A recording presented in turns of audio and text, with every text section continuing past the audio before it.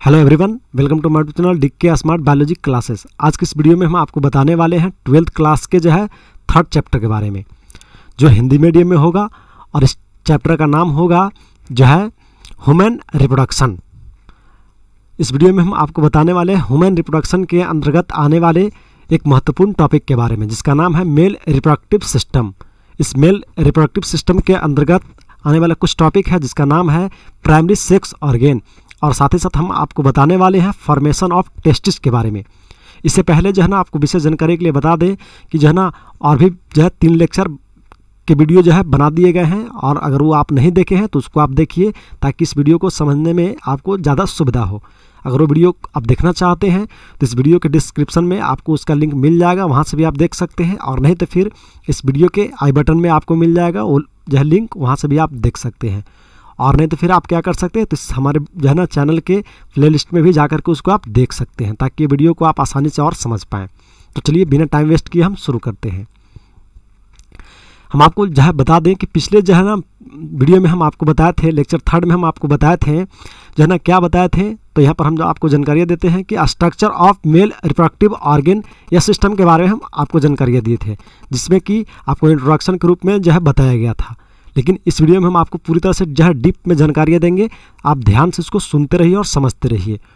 तो चलिए, इस वीडियो का जो है सबसे पहला टॉपिक जो होगा, वो होगा प्राइमरी सेक्स ऑर्गेन जिसे हम लोग हिंदी में बोलते हैं प्राथमिक लैंगिक जनन अंग। इसके बारे में हम आपको बताने वाले हैं।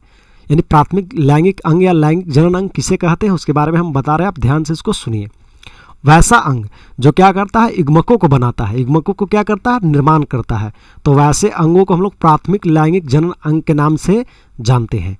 जैसे वृष्ट या टेस्टिज। वृष्ट को ही हम लोग क्या कहते हैं?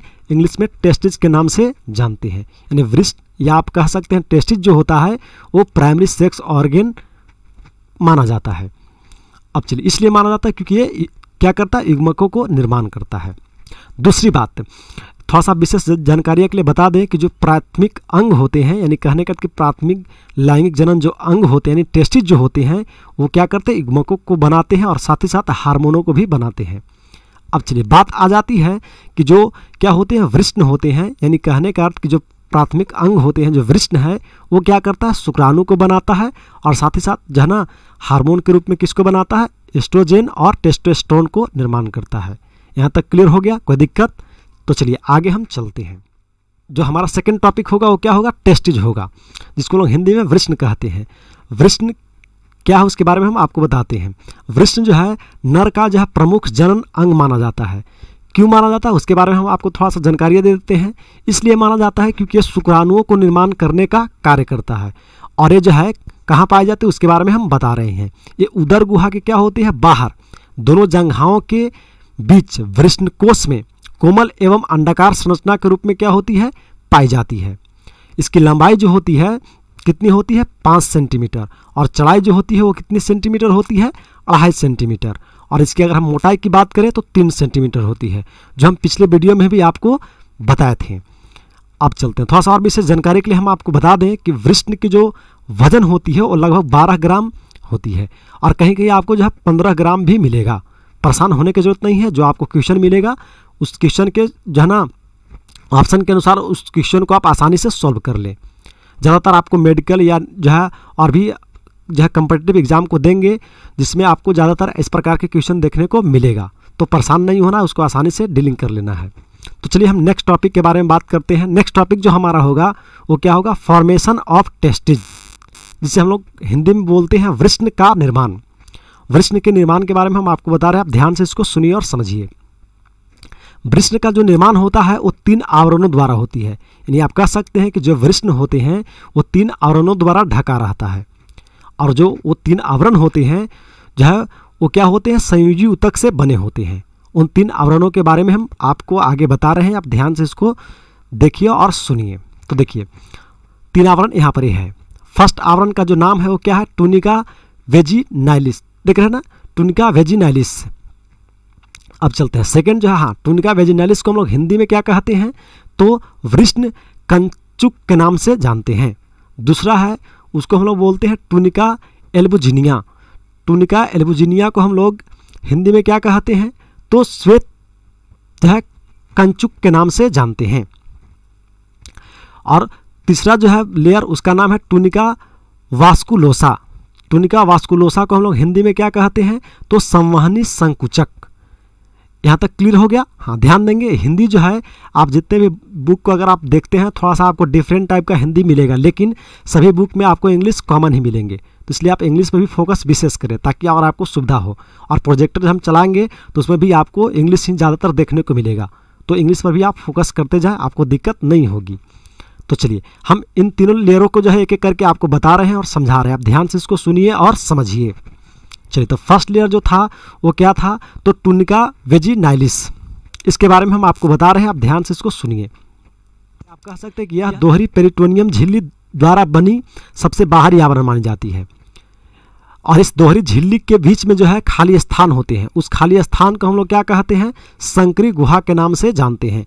उस संकरी गुहा में क्या होते हैं? द्रव पाया जाता है जिसके कारण क्या होती है? वृष्ण आसानी से वृष्ण कोष में गति करता है या मूव करता है।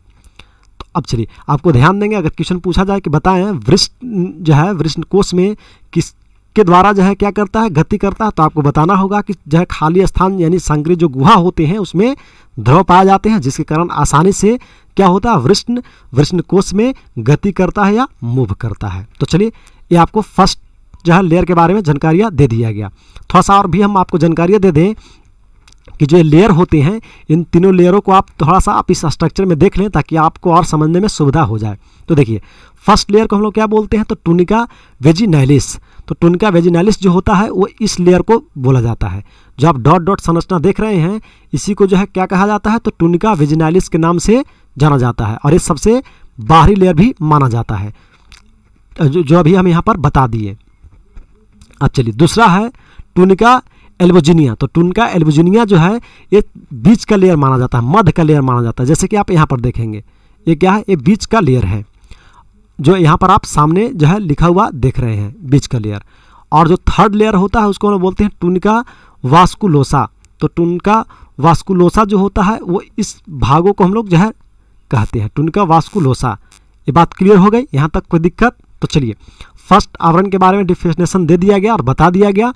ठीक है? और इसके बाद हम सेकेंड जो है ना, और थर्ड के बारे में अध्ययन करेंगे। उससे पहले कि थोड़ा सा अभी हम जानकारी दे दें कि जो है, क्या है? वृष्ण है। तो ये जो है थ्री फिगर में आपको दिखाया गया और ये क्या है? ऐसे जनरल फिगर में है। तो आप इसको भी जो है ना, देख करके कंपेयर करके भी आप समझ सकते हैं। जो वृष्ण है, ये यहाँ पर भी वही है सेम टू सेम है। फ़र्क है कि थ्री संरचना के रूप में है और ये ऐसे जनरल संरचना के रूप में है। यहाँ तक क्लियर आगे चलते हैं। सेकेंड लेयर के बारे में हम आपको बताते हैं। तो सेकेंड लेयर का जो है नाम हम बताए थे पहले भी और अभी भी हम ज़िक्र कर देते हैं।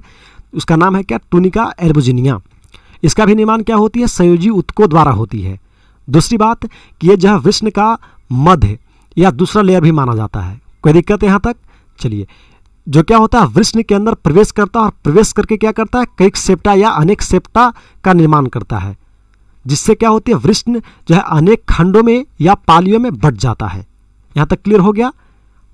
निश्चिंत होकर के आप आगे और जो है सुनेंगे। तो देखिए, चलिए थर्ड जो है वो क्या है? टूनिका वास्कुलोसा तो टूनिका वास्कुलोसा जो है, एक थर्ड लेयर है। इसके बारे में हम आपको बताते हैं। इसका भी निर्माण जो होता है वो किसके द्वारा होती है? तो संयोजी उत्कों द्वारा होती है। यहाँ तक क्लियर है? संयोजित, संयोजी उत्कों द्वारा कौन बना होता है? तो थर्ड लेयर जिसका नाम है टूनिका वास्कुलोसा और ये जो है सबसे भीतरी लेयर या अंदर का लेयर माना जाता है किसका? तो वृष्ण का। दूसरी बात ये भी ध्यान रखना है कि इसमें जो है सबसे ज़्यादा जो पाई जाती है वो रक्त कोशिकाएँ पाई जाती है। यहाँ तक क्लियर है? कोई दिक्कत? तो चलिए नेक्स्ट टॉपिक हम आपको बताते हैं। नेक्स्ट टॉपिक है क्या है?